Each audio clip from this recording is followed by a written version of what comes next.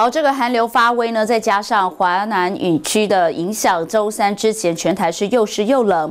二十二号受到大陆冷气团的影响，虽然冷空气减弱，气温稍稍回升，不过整体仍是湿冷，一直要到周四降雨才会趋缓。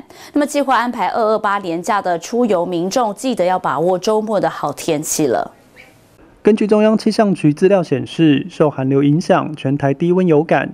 周一至周三，全台有雨，又湿又冷。周二寒流减弱，但水汽多，感受湿冷。二十三日周三又有封面及另一波大陆冷气团南下，雨势增大，气温又再度下滑。而周四前沿海风浪强大，海边活动作业注意安全。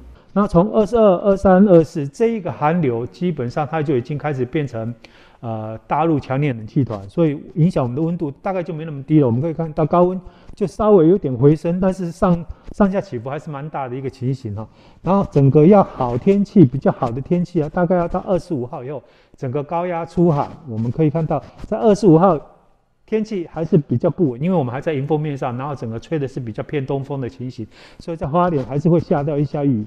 但是到二六二七，我们可以看到在白天的时候啊，呃，我们。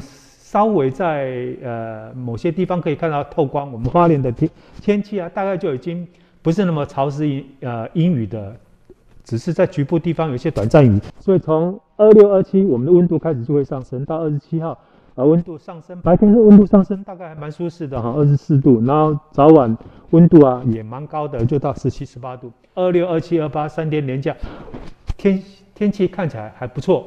周四封面远离，降雨趋缓。周五气温明显回升。二二八连假周末预计各地都将是晴朗稳定的天气。提醒民众，寒流袭台，因为天冷引发的急症救护案件增加，尤其日夜温差大。若家中有心血管疾病患者或年迈长者等，适时做好保暖，留意身体健康。